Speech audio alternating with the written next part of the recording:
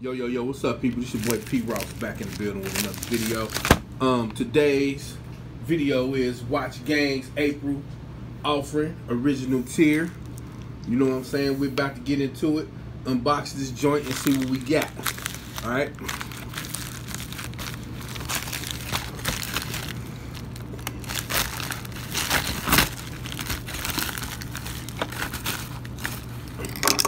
All right, take it out. Okay. All right. Here we go. Get paid for spring style.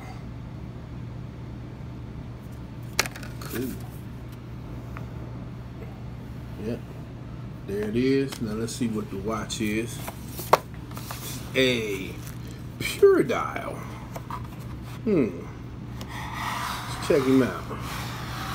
Okay, okay, okay.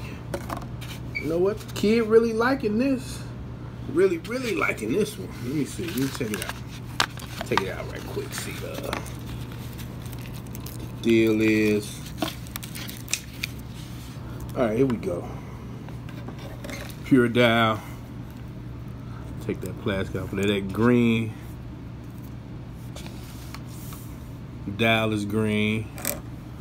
Brown genuine leather band, pure dial, square legacy. Okay, there it is.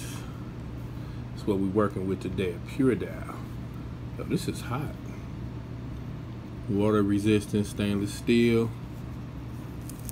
Um, pure dial on the clasp. Yeah, this is pretty dope. I like this. I'm feeling this. You know what I mean? So let's go ahead. We're gonna try him on the wrist right quick. See what's up. Stand by for a minute. All right, and there he is. How he look on the wrist. It's pretty cool. You know what I'm saying? I'm feeling that. I'm feeling that. Yeah, pure dial. That green dial look right though. I like that. I'm feeling that shit. But yeah, that's it. So we're gonna get into the logistics of this piece. You know what I'm saying? Find out if we got the bang for the buck. All right, people, we are on the uh, Pure Dial website. All right, uh, the watch that we received is the Square Legacy Green Silver.